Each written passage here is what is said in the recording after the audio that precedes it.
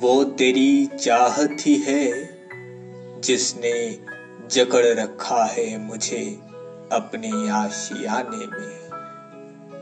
वो तेरी चाहत ही है, जिसने जकड़ रखा है मुझे अपने आशियाने में। वो तेरी मुस्कुराहट ही है, जिसने ज़िंदा रखा है मुझे इस घड़ी में। मुझे इस घड़ी में।